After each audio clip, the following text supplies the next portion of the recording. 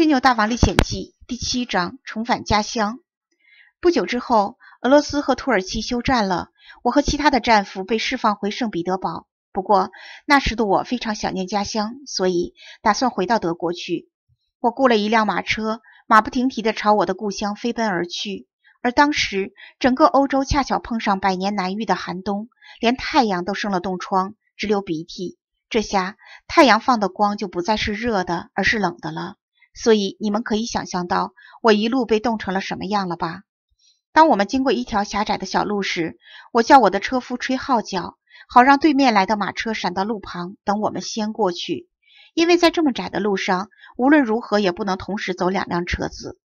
车夫拿起号角，全力吹，可吹了半天，一点声音也没吹出来。没办法，我只好从马车上下来，卸下两匹马。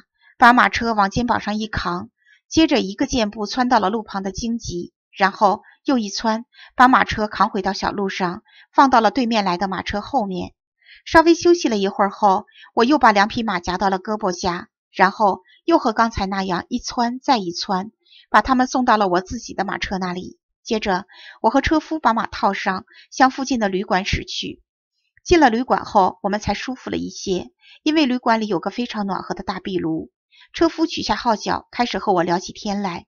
正当我们聊得很开心的时候，号角声突然响了起来，滴答答，滴答答，啦啦啦。我们惊讶极了，但是我马上就明白了，在冰天雪地里，声音被冻在了号角里，发不出来。现在号角被暖和的壁炉给烘热了，声音也就化了冻，从号角里冒了出来。神奇吧？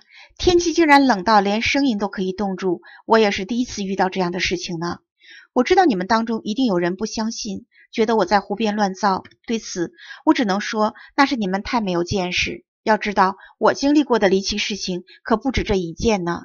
想听，那就继续往下看吧。